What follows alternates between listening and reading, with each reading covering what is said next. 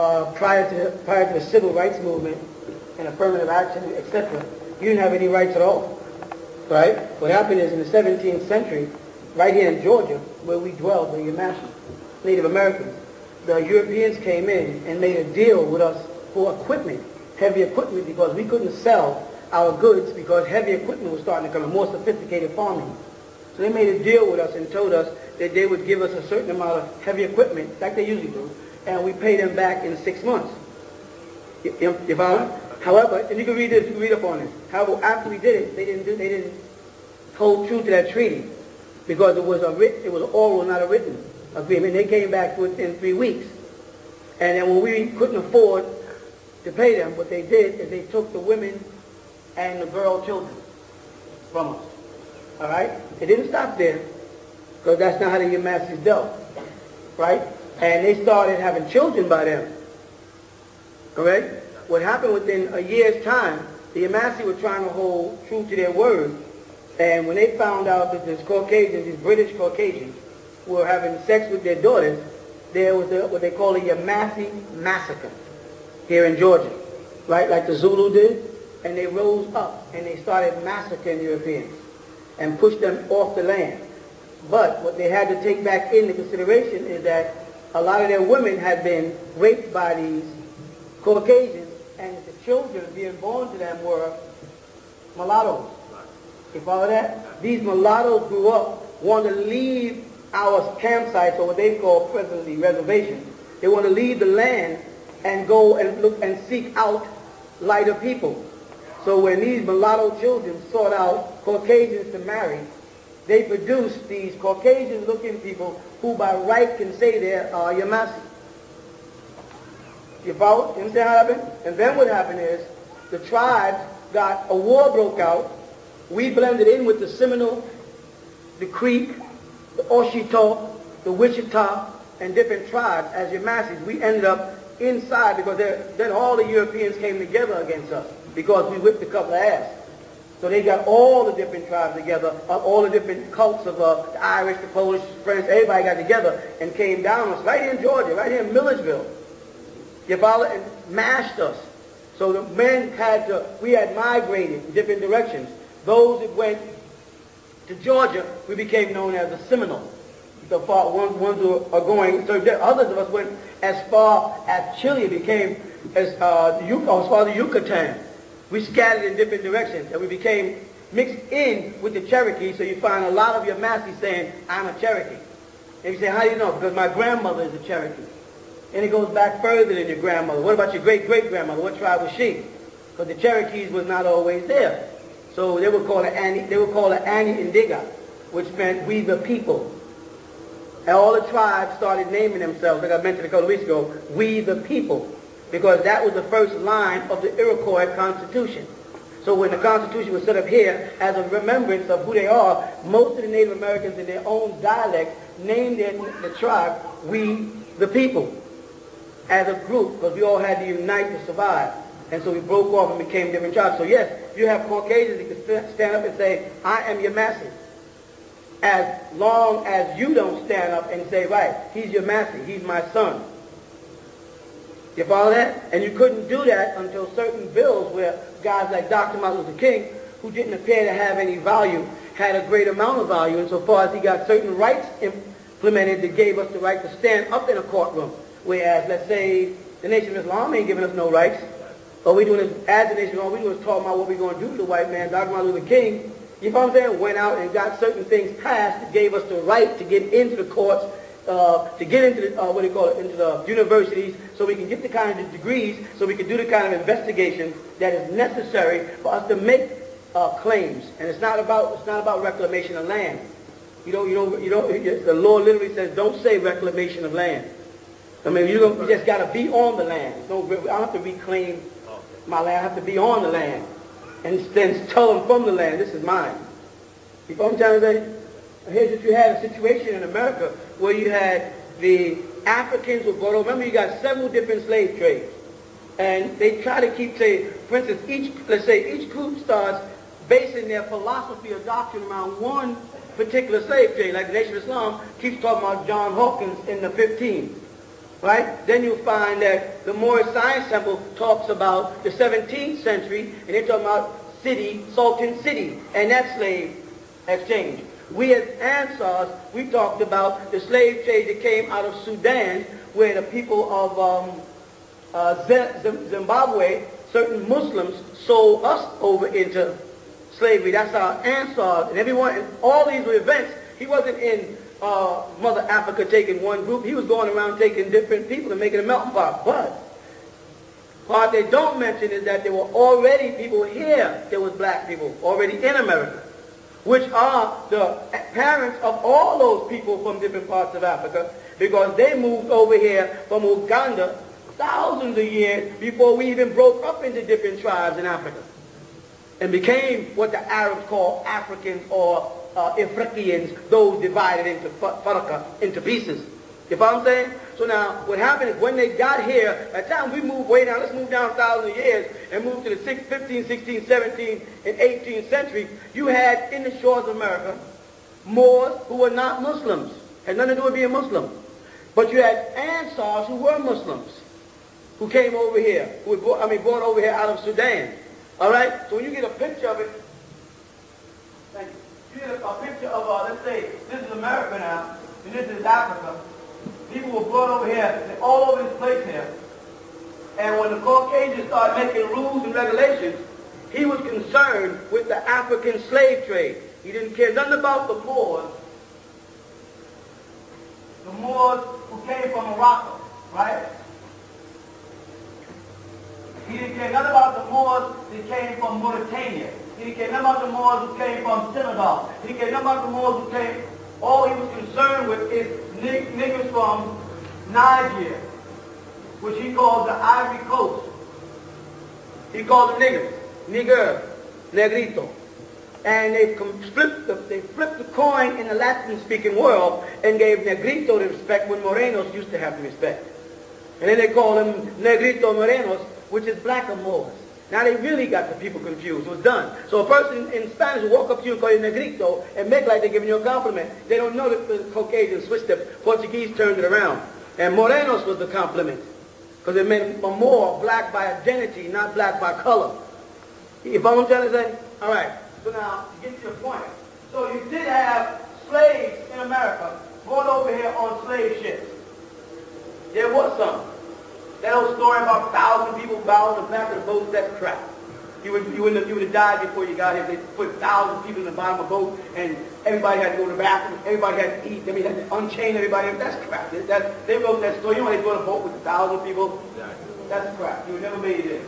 But there was some here. Then, America was first recognized by the Moors of Morocco. Right? A Sultan Sidi was the first one to recognize America's right to exist. You follow? So therefore, they sent out ships to protect America. These are Moors. I got this in the, in, the, in the, Constitution book, the whole dialogue, the whole history is written out for you. Tells you the, the place, the time, and everything. Sent them here. So he made a treaty with them first. This is why the White House, the capital, so-called capital, is called the White House. Because the word White House comes from the word Dar Beidar. Dar Beda means the White House in Morocco, and that's the capital of the largest city there. Rabat has recently become the capital of Morocco. The original capital of Morocco was Dar Beda, which in Spanish we say Casablanca, which means the same thing, a white castle or a large white house. So the fact that the United States has a White House as a central point and has a dome on it like a mosque tells you that it was influenced by people who came from Morocco called Moors. Dar Bedar. You follow what I'm trying to say? And they sent Abraham Lincoln inside it, but he's sitting in this, the seat of Ramesses. He's not sitting, he's sitting like a pharaoh, Ramesses. If you ever see the statue of Ramesses, when you walk by and the thing about what you see in Washington, Abraham Lincoln is doing the same thing. So every Grand Master is because of Ramesses. Okay. So there were Negroes here that were called slaves, even though we know the word slave is Slavic and can't apply to us. They didn't allow themselves to be called slaves and be treated like property. You follow that? You also had the Moors. Now, what was important about this thing is when I say the Moors came to America, the first thing that comes to your mind is Moroccans with light skin and wavy hair. But the treaty said, do not send any mulatto. No mulattoes was allowed. And mulatto was not, like I said many times, was not even an English word. It was from molad. Those born out of our seed. So they did not allow, they only allowed dark-skinned, woolly-haired Moors to come to America. Because they did not want to mix them in with their mulattoes who was already here because of the, uh, what do you call it, the French and the Portuguese raping us. You know, hunky. You know hunky means, right? Did you know where it came from? When they would go outside our towns on the other side of the road and honk their horn so the black women would come out. That's why we refer to them as hunkies. They would honk, because horns years ago didn't go beep, they just go honk, honk. If you're old enough, you know that. And so the only way they could get the black women, the Caucasian, get black women to come out at night to make money for their families before they brought them in their house and made like they were washing the floors and taking care of the kids so they can have sex with them. They used to pull up outside our neighborhoods, hum, hum, hum, and black women would know to go out there to the woods and they'd meet white or police officers or whatever, and they'd get a couple of dollars for some sex. They'd also implant seeds at times. It's a sad story, but it happened to be true. That's, that's where the name came from. But okay, if I got lost. So they only allowed a certain Moor here. They were afraid that the Moors that came in were going to get mixed up with the uh, Africans that was here and the mulattoes. So they said, make sure you only bring in dark-skinned, woolly-haired Moors from Morocco. Now, part of the plot was to later capture them. They didn't tell us that, though. So now when we came in as Moors, they gave us documents and paperwork and treaties made with George Washington with his signature on it, which is in that book I gave you. If I was telling you that they are to be treated like equal citizens to every Caucasian in this country. And these were black men and black women with, with these kind of feathers on, walking around during the same time they were having slave blocks and selling people. There were black people there buying slaves who were Moors. That's real. That was us. The was our culture. We forgot it because we think Africa is our only home. But we were already here. And then we had some that came over here. Again, we were not Muslims. We didn't care. They associate the word Moor with the word Muslim. Muslim is, is, a, is a curse to a real Moor. Because we knew that the Berbers invaded us with their Arab, Arab, Arabicized ways and poisoned us into believing in their image and therefore pushed more out of existence and all the cultural contributions we did got lost. You follow? But to go back. Once they got over here, remember you have your slaves, and then you had your Moors, and then you had your indigenous people who were already here. The indigenous people were mixed in with Hushen, right? And they produce what you call Native Americans. When you hear about a Native American and you see a person with a round face and two long straight braids, that's not the Native American, that's an Indian. You understand? That's an American Indian. But that's not a Native American. Native American were all max like that face, that statue made out there, when you come in with that big round head and them big lips and that big nose. I wouldn't even be classified in Olmec. They're purer than me. You mean to be honest, but that's who they were. They were the indigenous people of this land. The Chinese came in, mixed in with them, and produced what you're calling Native Americans today or Indians. And the Caucasian gave them all our rights. Right. Now they walk around saying Cherokee, Choctaw, Shinnecock, Cheyenne, and we walk around saying African, African, African. So what he did to appease the African, he created what's called the Emancipation Proclamation. Sounds big. Well, the whole thing is he put forth a proclamation that he's going to emancipate us and free us from slavery. But he did not promise us anything. Now, there was a promissory note saying 40 acres and a mule. But we multiplied so fast that they was afraid that if they offered every person who stepped forward for that 40 acres and a mule, there wouldn't be enough acreage left on this planet. We would take over. So they had to drop that and the mule. and just start slapping us upside the head whenever we started asking for our rights. Or creating organizations that would stifle our growth. You follow that? The first thing to do was to create religion. Get us caught up in religions that don't pertain to our own past. Such as, regardless of what I or Farrakhan or the 5% or the Moorish Science Temple or anybody else says, when you see this word, which I'm quite sure you have a hard time figuring out, the number L, Arab.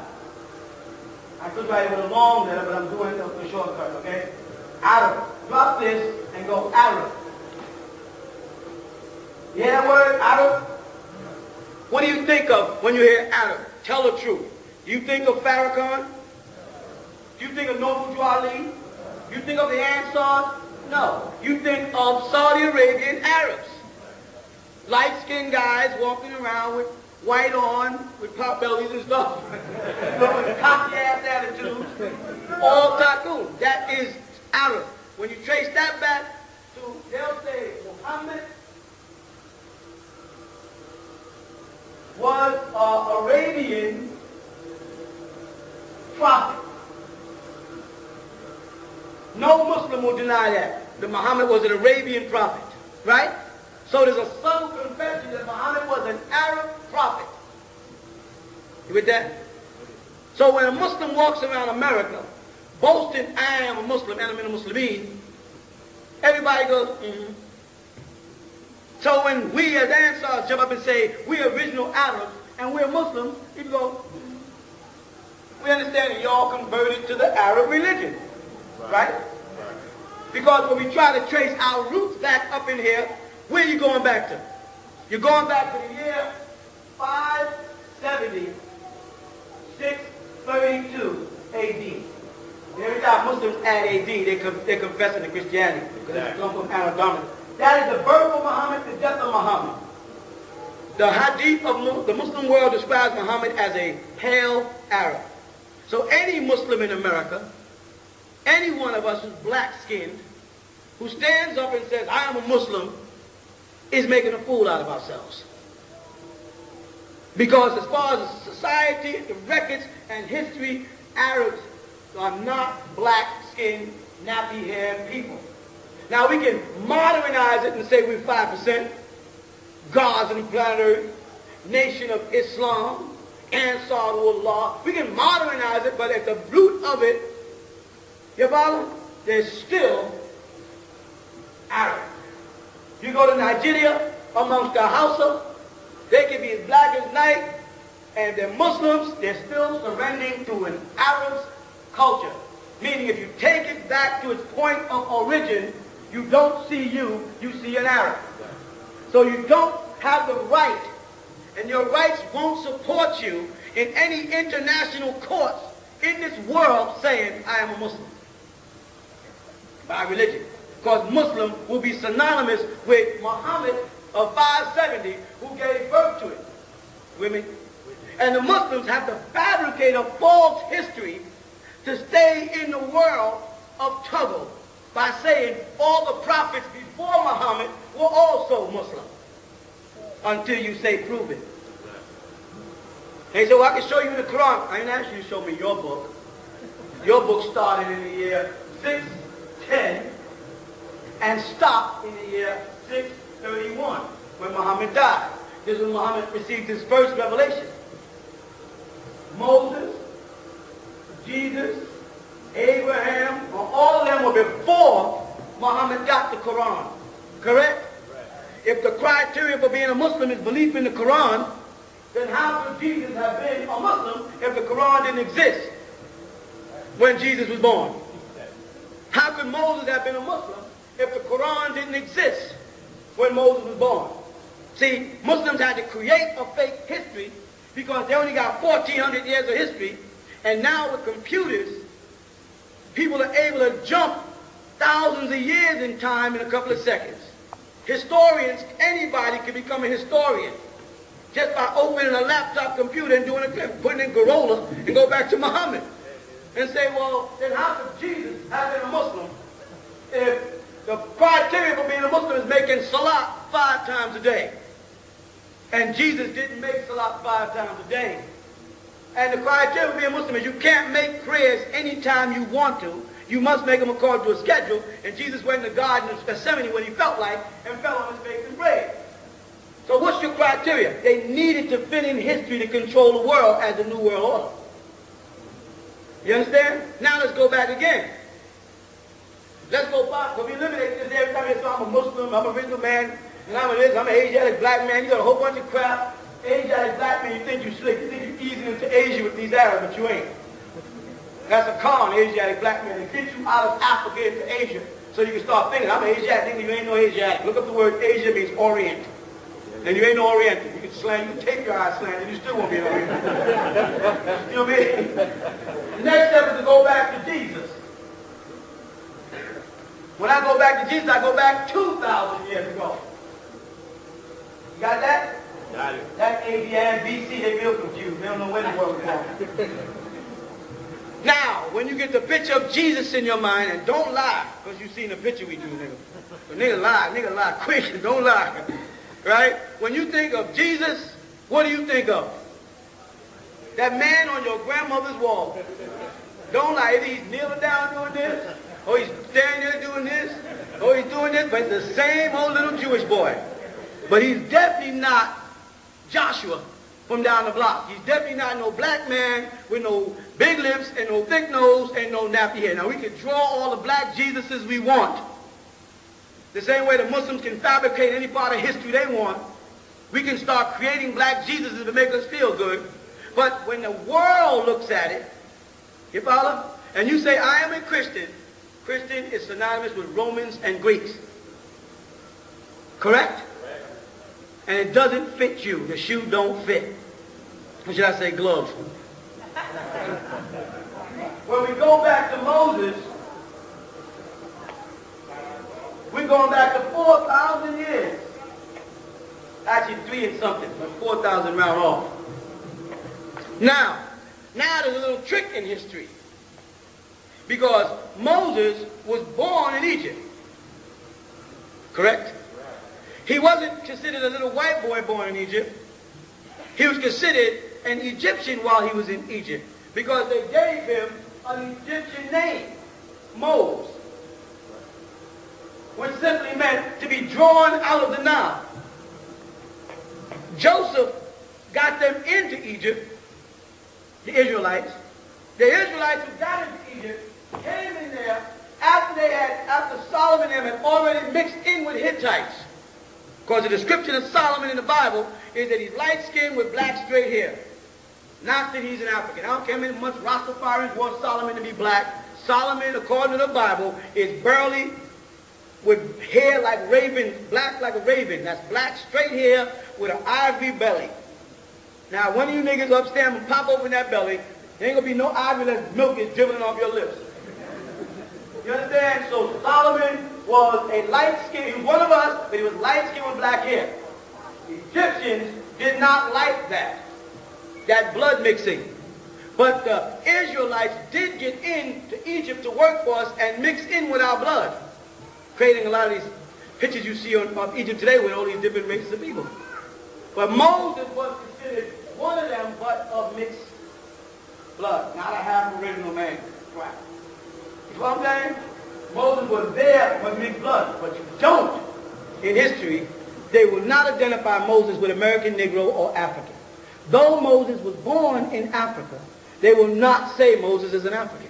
They'll say Moses is a Jew. Over and over again. Is that right? So again, Israelite Hebrews, Hebrew Israelites, black Jews, whatever you want to call yourself, when you say you're an Israelite, you are being related back to Jew. I'm saying, I, I don't mean in your little corner with your 13 followers.